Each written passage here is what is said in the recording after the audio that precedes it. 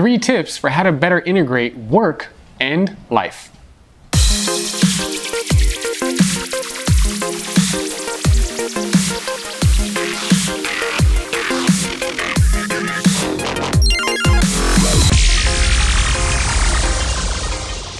Hello everyone, welcome to another episode of The Future in 5. My name is Jacob Morgan. This is where I share my thoughts, ideas, and commentary on the future of work in five minutes or less.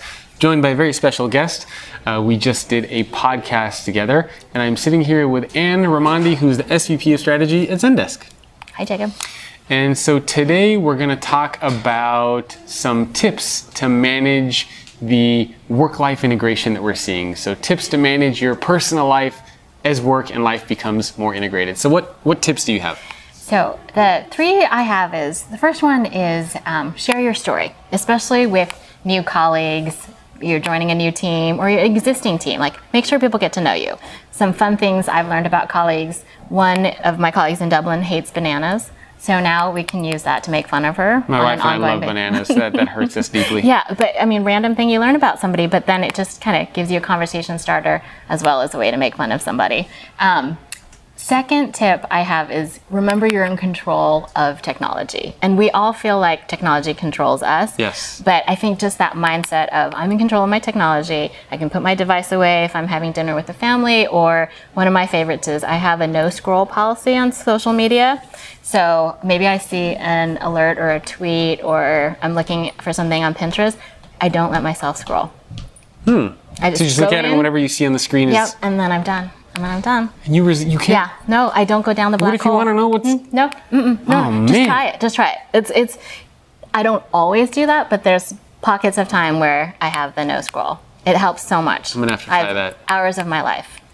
Um, yeah, you can lose hours yeah, of your life. Yeah, you can, but yeah. So you, you, get them back if you don't scroll. Yeah. And then last but not least, and we do that here at Zendesk, it's get out into the community, volunteer, do something, you know, channel your energy somewhere else, and it gives you renewed perspective for work and life and the two together. So, you know, I, on a particular day here is, you know, all the challenges of a work day. I was stressed out about meetings, deadlines, and then spent two hours at St. Anthony's serving lunch, and all those problems went away. It gives you yeah. perspective. So yeah, that's like an that. important one. Yeah, and so for people that are uh, new to the concept. So the, the shift, maybe we can talk about that for just 30 seconds. The shift from work-life balance to work-life integration. Yeah. What is that? Well, I feel like when we say balance, it feel, it seems like you're always making trade-offs. That somehow you're sort of in this fragile position that one's going to drop if you're focusing on the yep. other versus they're together. You're, you should be the same person at work as you are at home, and technology certainly makes that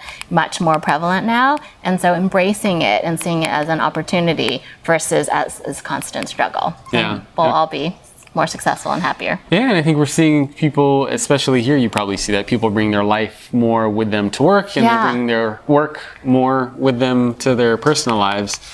So hey, work-life balance isn't going to happen. This nine no. to five, and then mm it's not. It's yeah. not. And the sooner we kind of accept that and figure out how the integration works, and give ourselves permission to turn off the technology, um, as well as the permission to, you know, show our personal selves at work, I think we'll we'll like all that. be better for it.